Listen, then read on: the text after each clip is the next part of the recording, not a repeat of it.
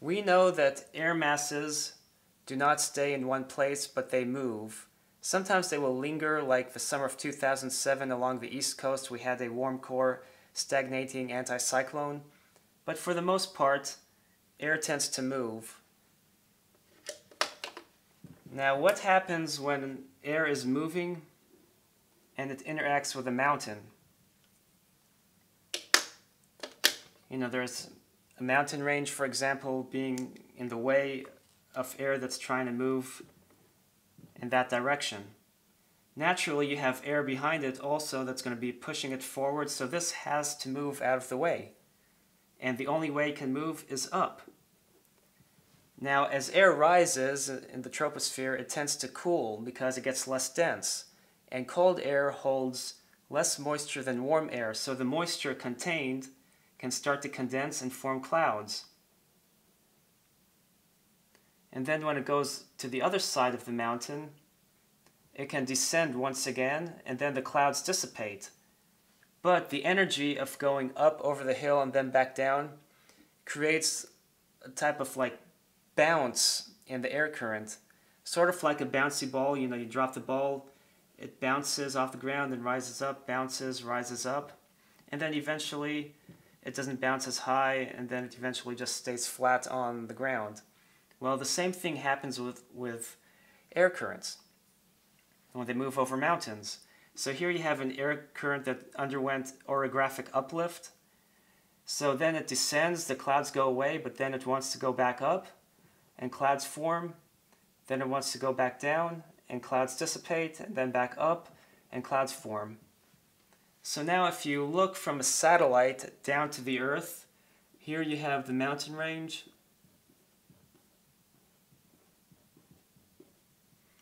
And you will have clouds, then no clouds, then another band of clouds, and then no clouds, then another band of clouds, etc. Now naturally, a lot of times when the first clouds form as it goes up the mountain. You tend to have rain. And then this side would be the rain side, and that would be known as the rain shadow. And that's why the Pacific Northwest has you know, you know, some nice rainforests, whereas east of the Rockies you end up having the Great Plains with less precipitation. And the same thing holds true all over the world. In Lebanon, for example, I'm going to use green to depict the nice pine and cedar covered peaks of Lebanon. You have, you, you know, you have the mountains rising off the sea, then you have the Bekaa Plateau, and then the anti-Lebanon mountains.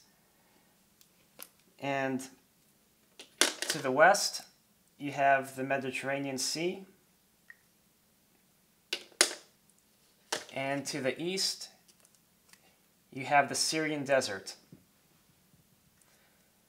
So what happens is moisture coming off the sea rises when it hits the Lebanon mountain range, and you have the nice snow-capped peaks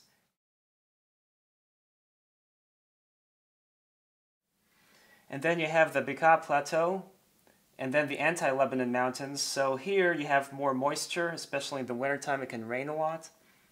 And then you have a nice fertile plain fed by 13 major rivers, and with a second mountain range, it gets really dry over here that very little clouds you know tend to form and you have a nice desert.